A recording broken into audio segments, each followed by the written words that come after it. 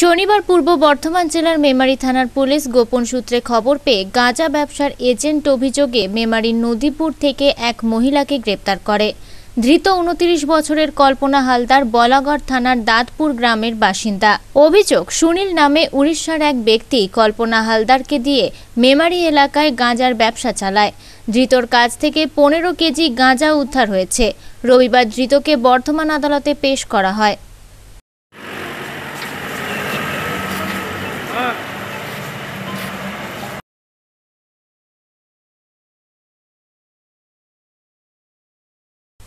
মেমারি থেকে সামিম শেখের রিপোর্ট, আনন্দ বার্তা।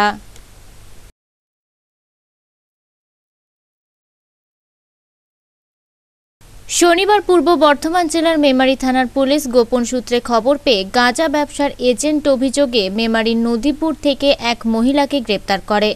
ধৃত উনত্রিশ বছরের কল্পনা হালদার বলাগড় থানার দাঁতপুর গ্রামের বাসিন্দা।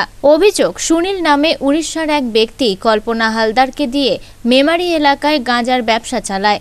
ধৃতর কাছ থেকে পনেরো কেজি গাঁজা উদ্ধার হয়েছে। রবিবার ধৃতকে বর্ধমান আদালতে পেশ করা হয়।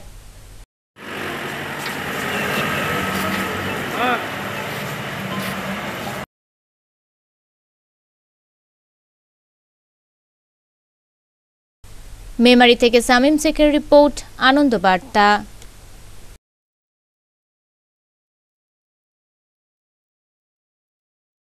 শনিবার পূর্ব বর্ধমান জেলার মেমারি থানার পুলিশ গোপন সূত্রে খবর পেয়ে গাঁজা ব্যবসার এজেন্ট অভিযোগে মেমারি নদীপুর থেকে এক মহিলাকে গ্রেপ্তার করে।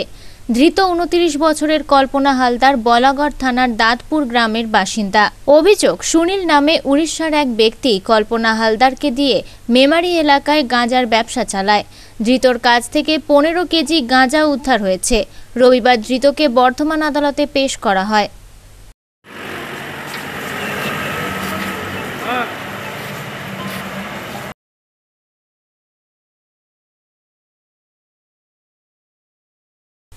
মেমারি থেকে সামিম শেখের রিপোর্ট, আনন্দ বার্তা।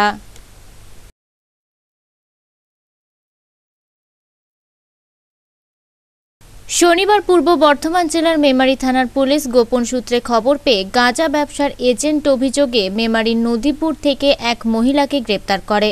ধৃত উনত্রিশ বছরের কল্পনা হালদার বলাগড় থানার দাঁতপুর গ্রামের বাসিন্দা। অভিযোগ, সুনীল নামে উড়িষ্যার এক ব্যক্তি কল্পনা হালদারকে দিয়ে মেমারি এলাকায় গাঁজার ব্যবসা চালায়। ধৃতর কাছ থেকে পনেরো কেজি গাঁজা উদ্ধার হয়েছে। রবিবার ধৃতকে বর্ধমান আদালতে পেশ করা হয়।